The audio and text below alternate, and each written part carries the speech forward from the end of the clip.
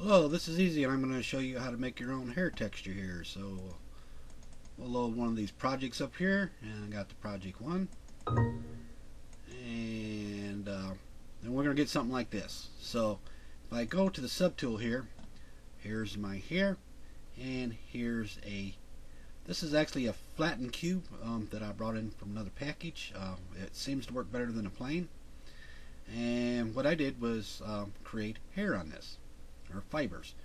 So basically what you do is you come over to the fiber mesh here, preview this. Um, you want your gravity to go straight up. I'm not going to go in full detail of that. And actually uh, after I had the gravity um, going one way, then I came up with something like this. So then what I did was, um, if I scale this back a little bit, you notice that the uh, background is pure black and it does not have any gradient. So if we go to the document here, what I did was I resized it 512 by 512. Um, another thing is I turned off the range, the center, and all three of these are zeroed out and the background is black. That way if it renders out and we're being grabbing this uh, image here, um, if there's anything in the background, black will appear transparent. Um, if there's any other color, it'll pick it up. You'll see here in just a second. So basically, you can turn this any direction that you want. Most most hair textures you see are tipping up like this. Another thing that I did is uh, I trimmed this up by just grabbing this like here and trim that up. And went to the geometry and delete the hidden here. That way you know we don't want to render a bunch of stuff here because it's just going to slow us up. So we'll scale it right here and the BPR render and wait a second. Then you get something like this then I went to the texture here. Then what you want to do is you grab the dock here. Then there's your new texture. And you can see it's 512 by 512. Then what you want to do is you want to export it. Now I could make the uh, texture uh, height and width um, larger, but I use these to embed into my materials. And 512 by 512 is sufficient. And what I usually do is I come over here and go down the modifier and I got some options to uh, I use a tri shader here to start embedding some textures in here.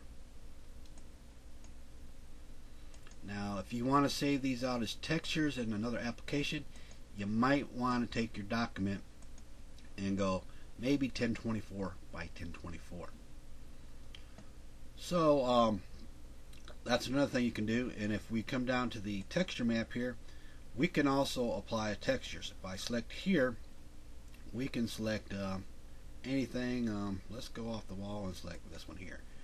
Alright, it's giving me a little pop-up here.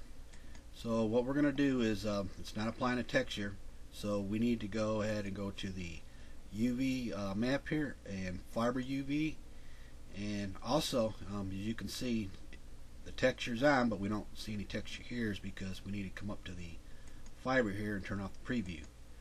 And when we do that, then we can render that out. Then we get something like that. Let's go ahead and load up this original first one that I started here. Alright, this was stage one that I used right here and we'll render that one right here.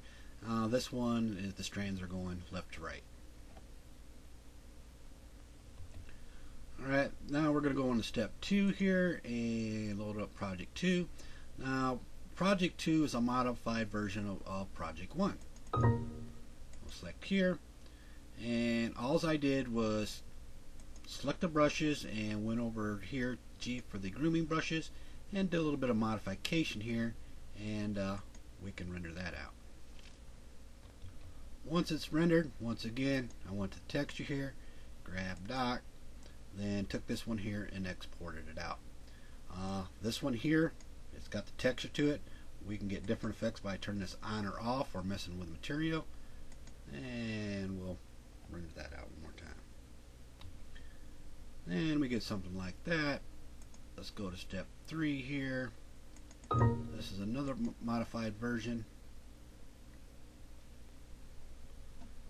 And uh, this with no texture here. Well, render that out. Once again, if we like this, we can go to texture and grab dot. And this time I'm going to see if I can come up with a little bit different effect. Uh, let's go with something a little dark. Uh, let's turn this on and off, see if we get a lot different.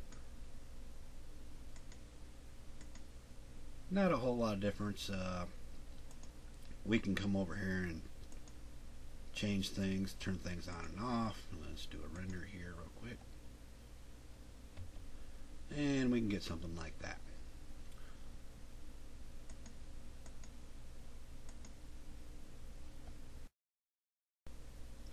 Now I paused the video for a second and like I said I use the Tri shader right here and um, I'm not going to get in full detail of uh, what I did here but uh, one of the materials that were transferred to the Tri shader was one of the hair materials here so basically I selected that one here copied that one right there then I switched over back over here and pasted that.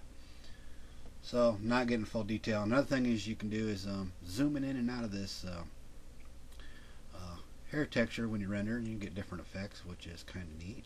So we'll take a look at this right here real quick. And we get something like that. And also like I said when we zoom I'm going to zoom way in here it's going to make it probably pretty slow here so bear with me